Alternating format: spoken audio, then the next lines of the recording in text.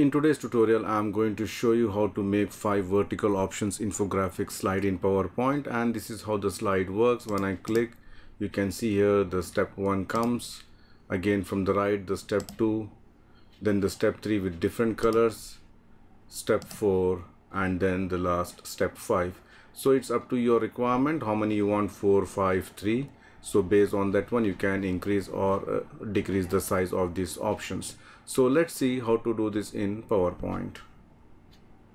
Add a new slide and change the background. For that right mouse click, go to format background and from the colors I'm going to select a light gray color. Then go to insert shapes, select the rectangle, draw the rectangle, maybe this much size.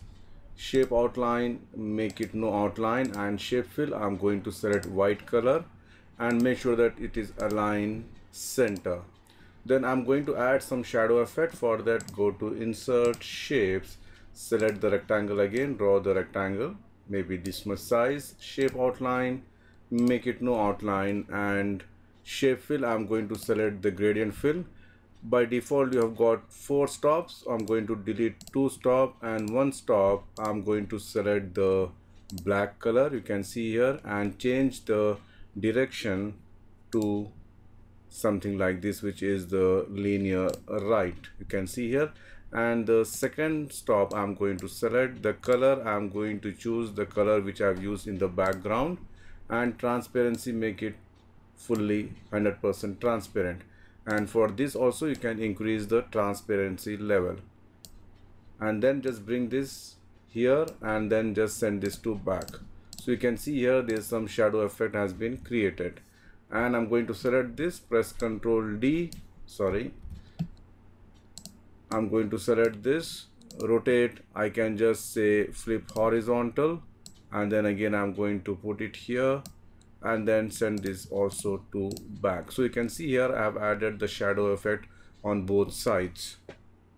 I'm going to add a new slide right mouse click and say new slide and just delete this uh, placeholder columns then go to view enable the guides go to insert shapes select the oval shape from the basic shapes hold the shift key while dragging this one maybe this much size shape outline make it no outline and shape fill you can give any color. Then go to format align center align middle. And then I'm going to cut only this part or I want to retain only this part the other part I want to just remove it. For that go to insert shapes select the rectangle draw the rectangle only on this area itself. Then I'm going to select the oval shape hold the shift key select the rectangle. Under format merge shape you can just say intersect. So you end up getting this shape. So I'm going to copy this shape by pressing ctrl C and bring it here and press ctrl V so you can see here I have just added this one here. And I can just change the color to some other color. Later on we can give some gradient fill to it. Now I'm going to select this. Press ctrl D to duplicate this. And then go to format rotate. You can just say flip vertical and place it here exactly. And for this I'm going to give a gradient fill. So select this one select the gradient fill so I'm going to uh, use two stop. The first stop I'm going to give the darker red. And the other stop I'm going to give uh, some lighter red. Maybe just say uh, this color kind of a pink. You can see here. And the transparency make it 0% here. And here also transparency transparency should be 0% and then this one I'm just going to select the same gradient fill. I can just go and select the gradient fill like this. And the direction I want the red to come on top. So I'm just going to select this one. So you can see here the red is on top. And then to continue this I'm going to add one more rectangle here. Just draw the rectangle maybe this much size shape outline make it no outline and I'm going to use the same color. I can go to home format painter and just click it here. So you can see here you end up getting like this. If you feel that this color is not matching so you can just go and give some different color of your choice whichever color you feel better. Maybe I'm going to select a kind of orange. Let's see. So it looks something like this more of a red and here also I'm going to do the same thing. I'm going to select the orange color. And here it is more dark red. So like this you can also just change it here to the orange color. So it looks something like this. So whichever way you want you can just change the colors according to your requirement. I'm not happy with the colors. Let me just change this color. I want a more darker color here. Maybe I can use this color. You can see here and here I want to use some uh, kind of orange color. So it looks something like this.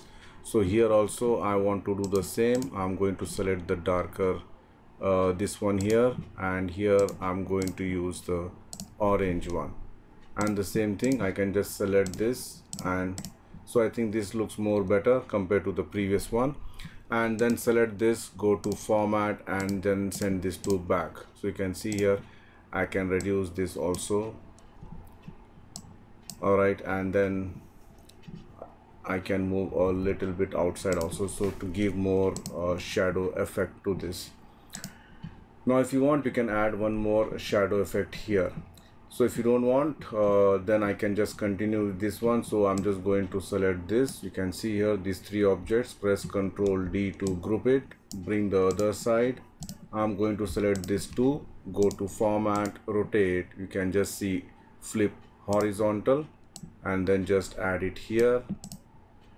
And then this one I'm just going to copy it here. And it's easy for me to change any color of my choice. Maybe I can just go give some teal colors here you can see here. And somewhat lighter color on this side. Then select the same thing and just change the direction. I want the direction the light color to go on top the dark color sorry. And this one also I'm going to select the same thing here. Alright so let me just align it properly. So this is your second option. And then I'm going to select this press ctrl D. So this is my third option. And again make sure that this all this send to back. This also send this to back. And if you like to add more options in that case you can just select this and reduce the size and then you can just move it up and add more at the bottom. So let me just uh, play with these three options only. Then i'm going to add the text. Go to insert. I'm saying that this is step 01 you can see here center align bring it here. If you want you can make it a white font also. I'm going to change the font to Century Gothic or any font of your choice. You can add it here. And then you can add the detailed text at the top.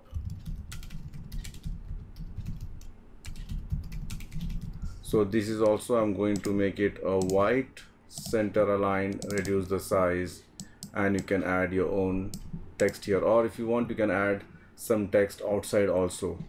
And if you have the icons you can go to insert icons. You can download the icons and use it here. So let me just select this press ctrl D add this one here. This will be my step 2 control D and this is my step 3 and again I'm just going to duplicate this by pressing control D. So you can see here the design is ready. And if you want you can add simple fly in animation to this. Let me add some simple animation. Close the format background go to view untick the guides then the animations.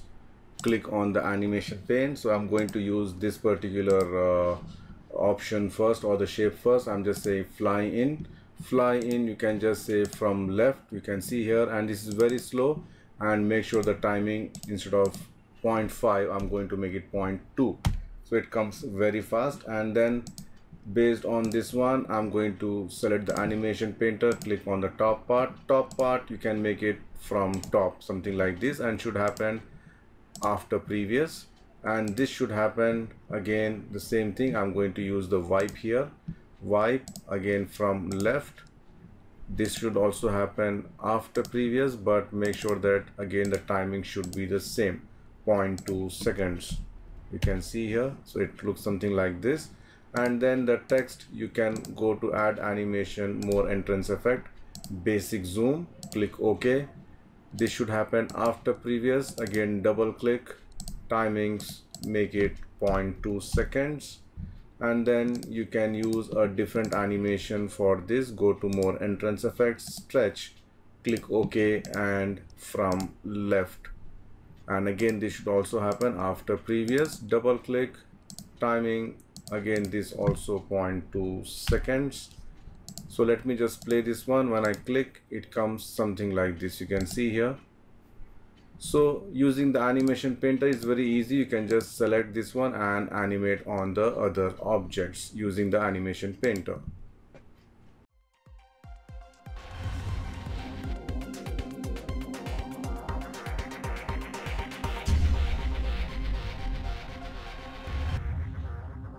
That's it from me friends. Thank you for watching my YouTube channel and don't forget to subscribe PowerPoint University.